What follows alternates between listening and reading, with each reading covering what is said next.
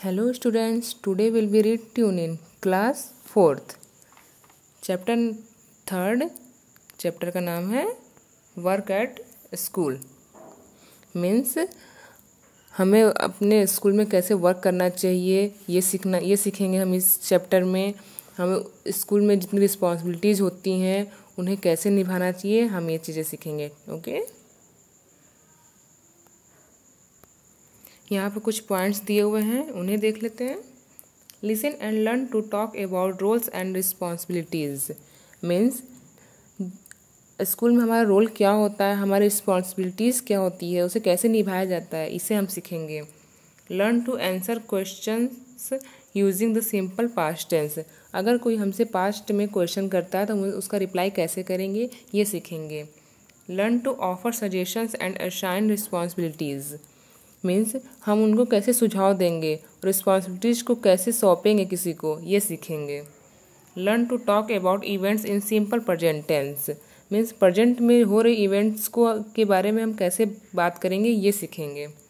Learn to say words with double L sounds okay यहाँ पर कुछ ग्रामर के पॉइंट दिए हुए हैं, इन्हें देख लेते हैं।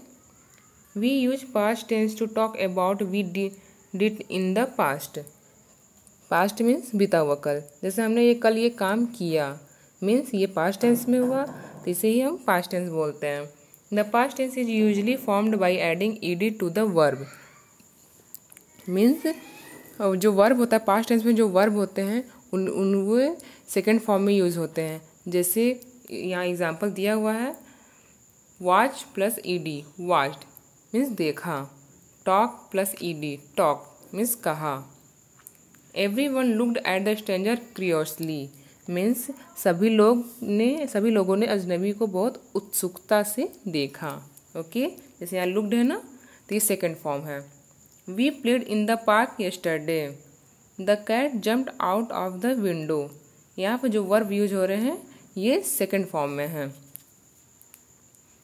However some verb do not follow this pattern कभी कभी ये वर्ब्स कुछ वर्ब्स इस फॉलो इस पैटर्न को फॉलो नहीं करते हैं। They are called irregular verbs इन्हें इरेगुलर वर्ब्स बोलते हैं। Example is was begin began break broke okay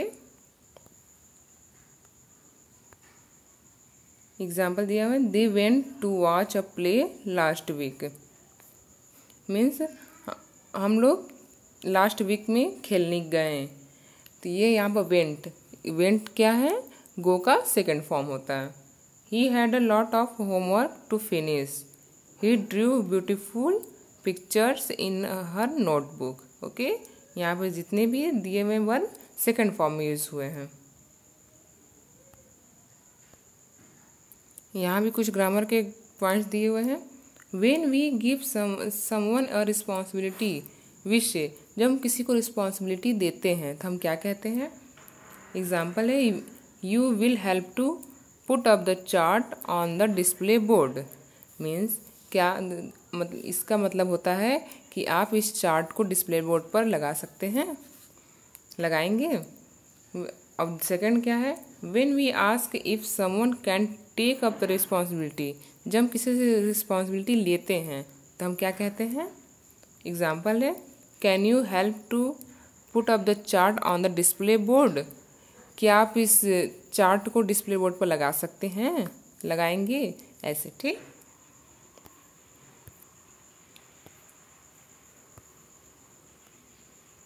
यहाँ पर प्रेजेंटेशन टिप्स क्या दिए हुए हैं? How to give responsibility to someone हम किसी को रिस्पॉन्सिबिलिटी कैसे देंगे? When you give responsibility to someone जब हम किसी को रिस्पॉन्सिबिलिटी देते हैं बी पोलाइट बिल्कुल विनम्रता से देनी चाहिए। एक्सप्लेन द टास्क क्लियरली उस टास्क को बिल्कुल क्लियरली समझा देना चाहिए एक्सप्लेन कर देना चाहिए। You can also give some suggestion to complete the task और आप कुछ सजेशन भी दे सकते हैं उस टास्क के बारे में। Do not be rude and give the directions politely means हमें रूट बिहेव नहीं करना चाहिए, बिल्कुल पोलाइट बिल्कुल विनर में रहना चाहिए। जैसे यहाँ भी दिया है कि सजेशन कैसे देते हैं how to offer suggestions suggestion को कैसे हम देंगे? When we offer suggestion we can say हम कह सकते हैं फॉर एग्ज़ाम्पल कैसे could we add more rhyming words in the song shall we say क्या बना सकते हैं? For example shall we include some dance step with the song why don't we इससे क्या बना सकते हैं? फॉर एग्ज़ाम्पल है why do not we take some help from our teachers okay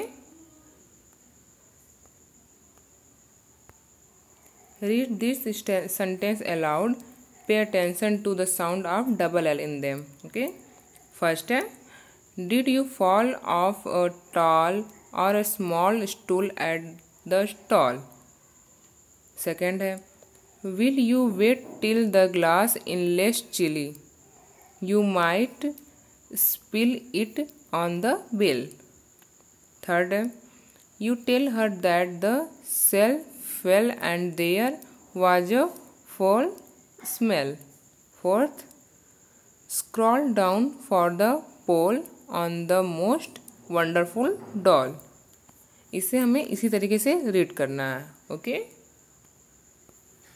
next है listen and repeat pay attention to how L is pronounced in the words first है does a snail have a tail or a nail that leaves a trail सब में single L है second है do you have a cool pool in your did you put on the stool? Fourth, does an eel feel like steel or banana peel? okay? इसी तरीके से आप लोग read करेंगे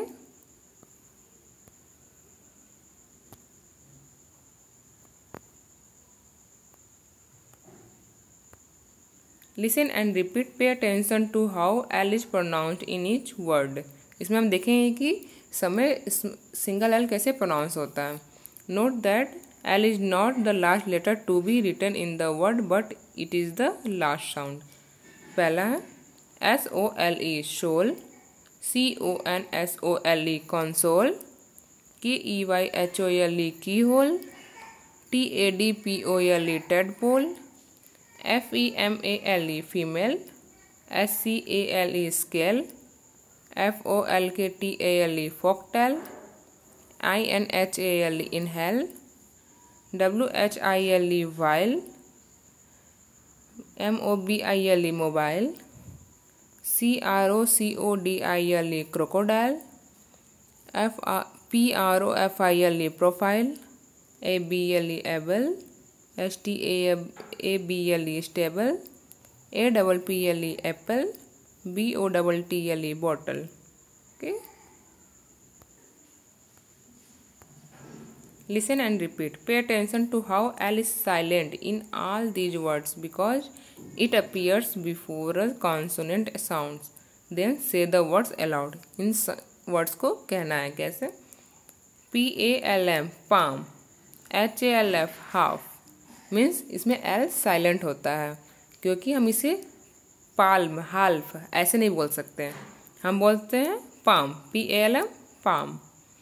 H A L F half. K A L F calf. B A L F balm. W A L K walk. S T A L K stalk. T A L K talk. C H A L K chalk. Y O L K yolk. W O U L D would C O U L D could. S H O U L D should okay यहाँ भी कुछ words दिए हुए हैं, इन्हें देख लेते हैं।